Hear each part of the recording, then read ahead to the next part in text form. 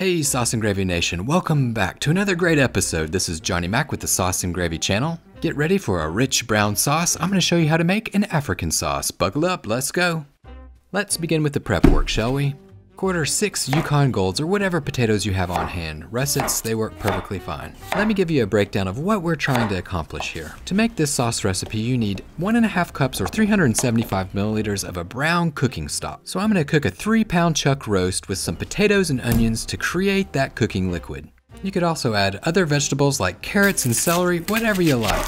And you want a rich, flavorful cooking liquid or stock to make that sauce just pop. You could also use just a simple old Espagnole sauce. I'll put a link in the description box for a recipe below.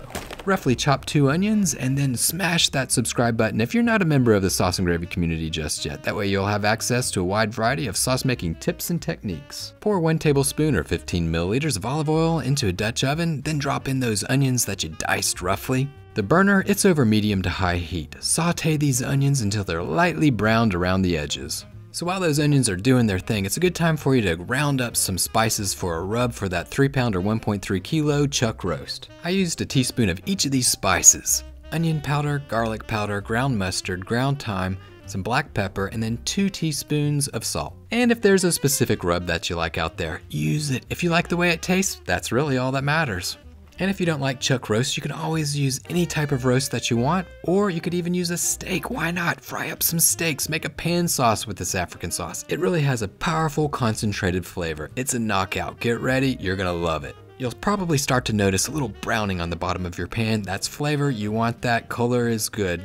And after about 5 to 8 minutes, you should see a little light brown around the edges on those onions. That's perfect. Add more flavor. You're ready to take them out, put them to the side, get them ready for later.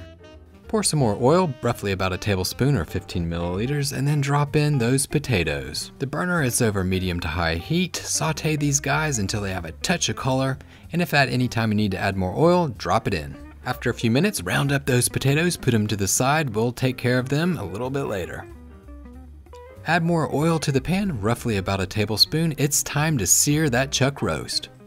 Drop it on in and sear all sides.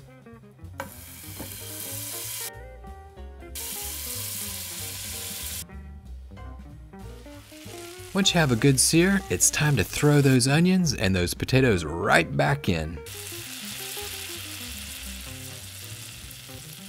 So you're almost done with this. Now we're gonna add one last thing before we pop this guy into the oven. One and a half cups or 375 milliliters of beef broth. Place that chuck roast onto the potatoes and onions. And remember that brown on the bottom of the pan. Grab a flat bottom spatula, scrape a little bit up. We have that broth, use it to incorporate it into that cooking liquid. The burner, it's still over medium to high heat. Bring that cooking liquid to a simmer. Once it starts simmering, throw that lid on, let it simmer for about another minute, and then pop it into the oven. I'm gonna cook it at 275 Fahrenheit, 135 Celsius for three hours for this three pound or 1.3 kilo roast. And after it's done, take it out, and what do we have? Ho ho ho, check that out. Now we're getting to the point where we can knock out this sauce.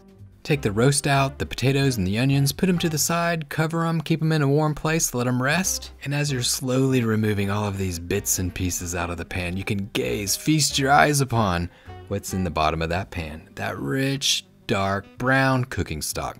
Now that is flavor. And again, you don't have to use this cooking liquid, but you'd be crazy not to.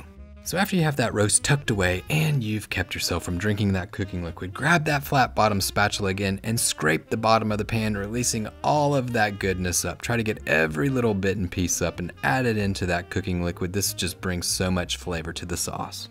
Pour the cooking stock into a measuring cup, check it out, see how much you have. We need about one and a half cups or 375 milliliters. If you don't have that, you can substitute with store-bought broth or stock, whether it's chicken stock, beef stock, worst case scenario, you can add water. So now you're gonna knock out a little prep work for the African sauce. You could always do this while the roast is cooking in the oven. Take one fancy shallot, cut it in half, remove that pesky skin, and finely mince it.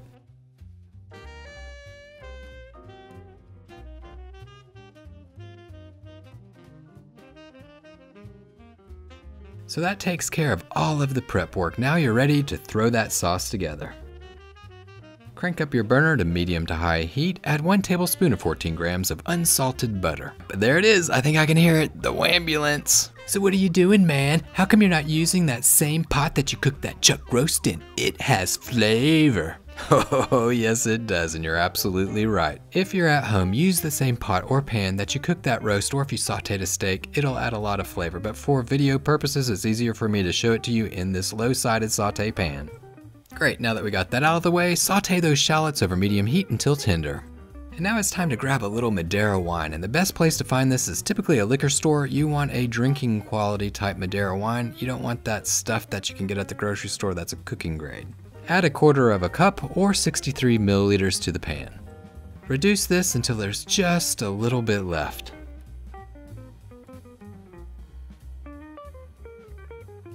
So check it out, you want to reduce it pretty much about this much. Now it's time to add 2 tablespoons of tomato puree, that's about 30 grams. Quickly mix in that puree over medium heat and drop in a quarter of a teaspoon of cayenne pepper.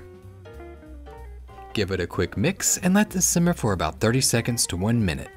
Alright, so here we go, the moment that you've all been waiting for. We're gonna dump in that 1.5 cups, 375 milliliters of that cooking stock. And you're probably wondering, did you put the grease in too? Oh, yes, I did. But if you don't want to use the grease, you can always use a fat separator and remove it. For this, you're going to bring the sauce to a boil over medium heat. Once it starts to boil, turn the heat down to low and simmer for about 5 to 8 minutes or until it's reduced by half at least, or until it becomes thick. I reduce this by about 2 thirds and check it out. It's a rich, dark, full flavored brown sauce. Doesn't get much better than this, but hold on to your hats, we're not done yet. For a nice, clean, silky smooth sauce, it's best to strain out the sauce into a gravy boat or container. Now, if you don't want to do that, you don't have to. Taster's choice, if you like it chunky, why not go for it? Still tastes great. So here you go, check it out. I have half of a cup or 125 milliliters of pure delight. Well, thanks Sauce and Gravy Nation for watching. I hope that you enjoyed this recipe on how to make an African sauce. If you liked this recipe and found it helpful, smash that like button. And remember to keep whisking, y'all.